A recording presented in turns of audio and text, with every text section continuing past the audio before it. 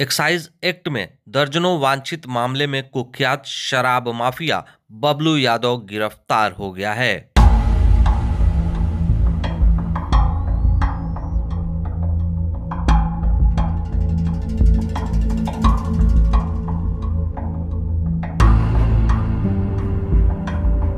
यादवपुर, कांड संख्या एक सौ दस चौबीस, एक्साइज एक्ट। नगर थाना, कांड संख्या पाँच सौ नवासी, बाईस, एक्साइज एक्ट। कुचायकोट थाना, पाँच सौ तिरपन, बाईस, एक्साइज एक्ट।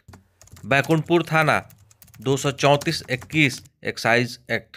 फुलवरिया थाना, दो सौ बावन, बाईस, एक्साइज एक्ट। यादवपुर थाना, इकसठ, चौबीस, एक्साइज एक्ट। ऐसे कई मामले इस पर दर्ज हैं। गोपालगंज का कुख्यात शराब तस्कर बबलू यादव को यादवपुर थाने की पुलिस ने गिरफ़्तार कर लिया है। उस पर दर्जनों शराब कांड के मामले दर्ज हैं। लंबे समय से यह फरार चल रहा था, पुलिस इसकी फिराक में थी। लेकिन यादवपुर थाने की पुलिस के द्वारा इसे गिरफ़्तार कर लिया गया है।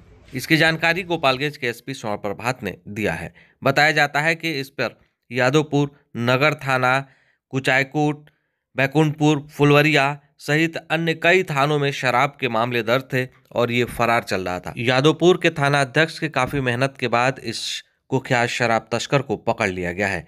एसपी स्वर्ण प्रभात ने बताया है कि इसकी संपत्ति की जाँच की जाएगी। वहीं उन्होंने साफ़ तौर पर यह कह दिया है कि ऐसे शराब तस्करों पर विशेष निगरानी रखी गई है।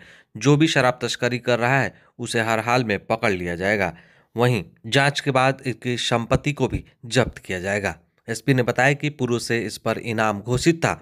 जिन पुलिसकर्मियों ने इसे पकड़ा है, उन्हें इनाम की राशि दी जाएगी। दरअसल, ये शराब माफिया लंबे समय से पुलिस की गिरफ्त से बाहर चल रहा था, लेकिन यादवपुर की पुलिस ने उसे गिरफ़्तार कर न्यायिक हिरासत भेज दिया है। गोपालगंज पुलिस के द्वारा शराब माफियाओं पर बड़ी कार्रवाई करते हुए करीब दर्जनों केस में वांछित कुख्यात शराब माफिया बबलू यादव को जादवपुर थाना अंतर्गत गिरफ़्तार किया गया है। और यह पूर्व में करीब बारह से ज़्यादा केस में भी शराब के केसेज में वंचित चला आ रहा था और पुलिस कई दिनों से इसकी तलाश कर रही थी। इसको गिरफ़्तार कर माननीय न्यायालय में अग्रसारित किया जा रहा है। इसके संपत्ति की भी जाँच की जाएगी कि इसने शराब के काले धंधे से कितनी संपत्ति अर्जित की है। और नए आपराधिक कानून में पुलिस को पावर है कि अगर गलत तरीके से अगर कोई संपत्ति अर्जित करता है तो उसके खिलाफ जो है पुलिस जाकर उसकी संपत्ति को जब्त कर सकती है। और इसके खिलाफ भी जो भी शराब माफिया हैं उनके खिलाफ जो है पुलिस कार्रवाई करेगी। इस पे इनाम भी इस पे इनाम भी घोषित किया गया था और जो टीम ने पकड़ा है उनको इससे पुरस्कृत किया जाएगा। तो आपने गोपालगंज के एसपी स्वर्ण प्रभात को सुना उन्होंने साफ़ कहा है कि इसकी संपत्ति की जाँच होगी और नए प्रावधान में अगर गलत तरीके से संपत्ति अर्जित का मामला आएगा तो इसकी संपत्ति को भी जब्त किया जाएगा। खबर यूट्यूब पर देख रहे हो तो सब्सक्राइब कर लीजिए फेसबुक पर देख रहे हो तो लाइक शेयर और कमेंट ज़रूर करिएगा।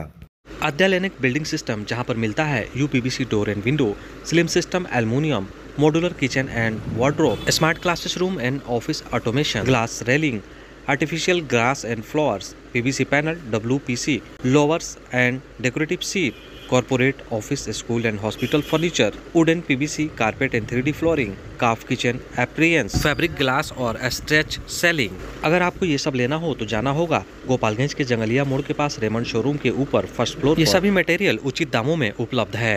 लाइक शेयर सब्सक्राइब ज़रूर करें। धन्यवाद।